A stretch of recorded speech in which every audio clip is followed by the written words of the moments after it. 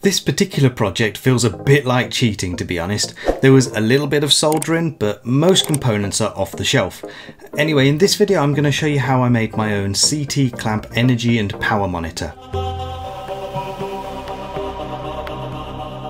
Smart CT clamp solutions can be quite expensive to buy. Just look at the Aeotec Z-Wave home energy meter and the Shelly EM, both of which require extra work or components to install, so they're not plug and play. For a fraction of the price, you can build your own using ESPHome and Home Assistant.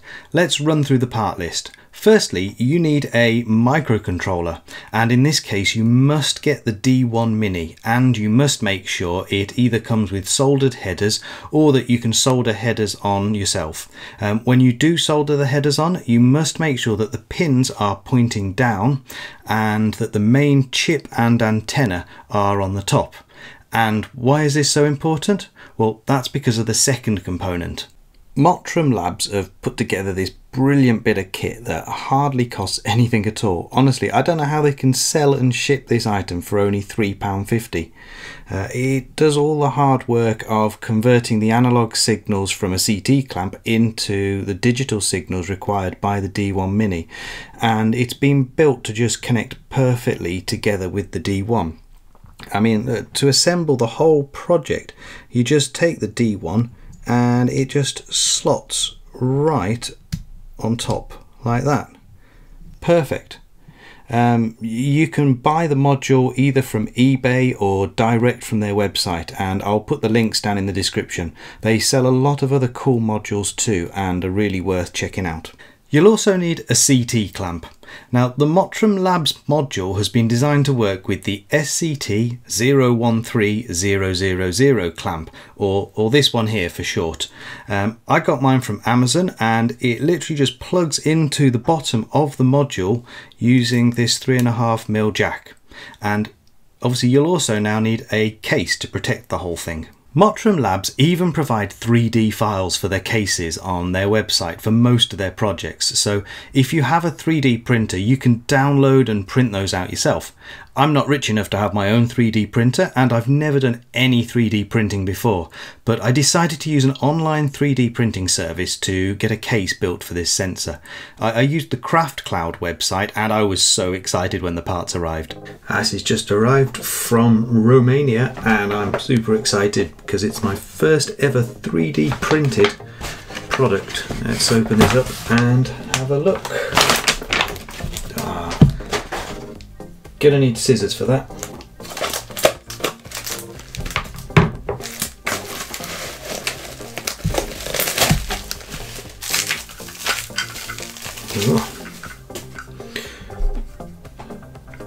Got two pieces.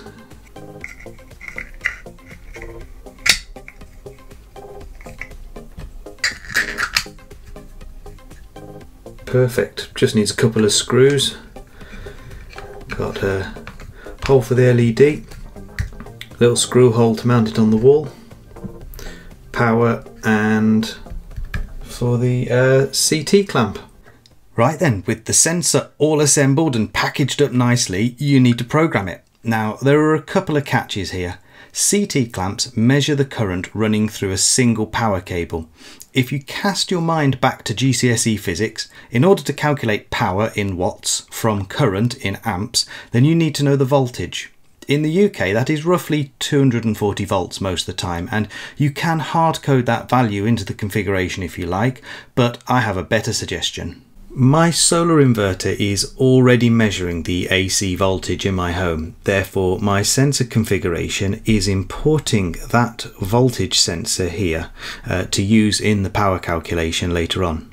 If, however, you don't have anything measuring voltage, then you can just replace this whole section right here that I'm highlighting uh, with the number 240, and then you can delete the uh, Home Assistant platform sensor section. Uh, your measurements won't be quite so accurate, but it'll all still work. This section up here lets you use the LED on the Mottram module, which is connected to pin D4.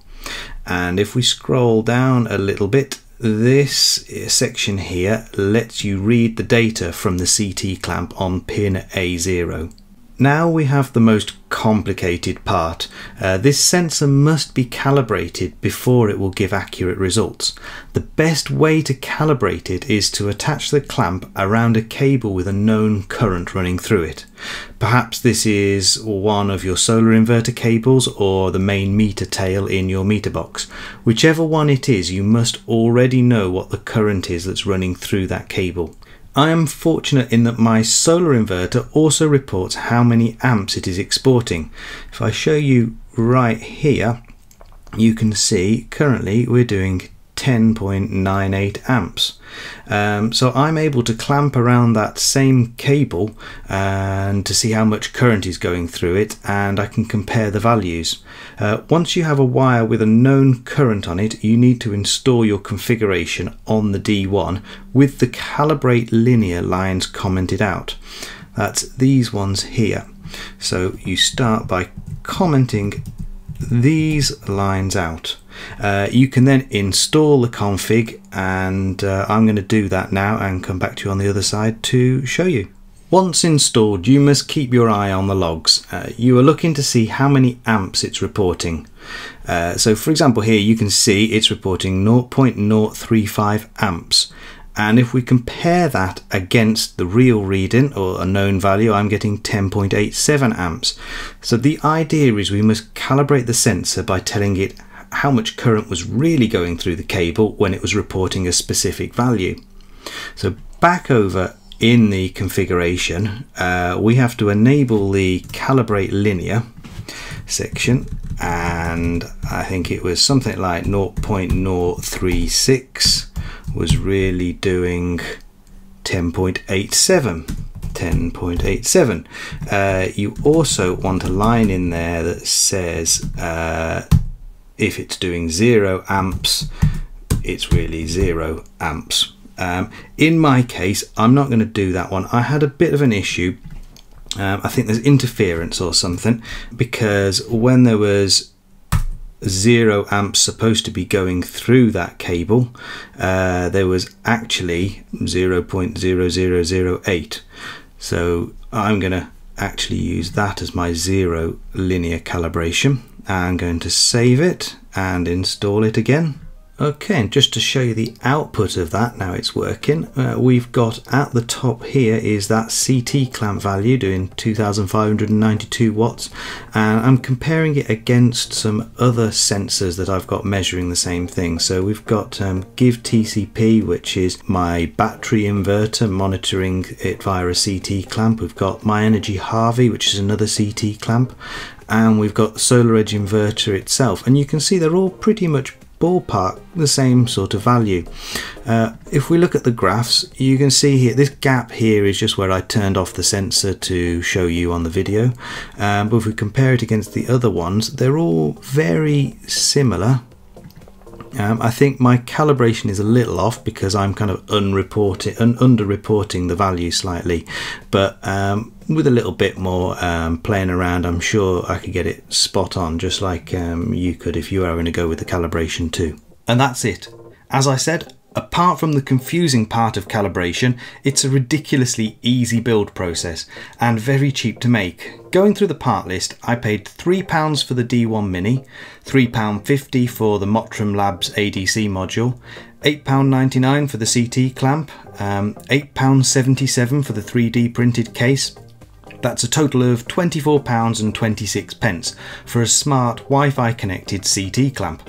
I'm sure I could have paid less for the CT clamp if I'd been willing to wait for a couple of months for it to arrive from China, um, but anyway, as usual, I'll put all of the details, including the ESPHome configuration, up on my website and a link to that down in the description below. If you like this video, then please give it a thumbs up and subscribe to my channel to see more videos like this. Thank you for watching. Goodbye.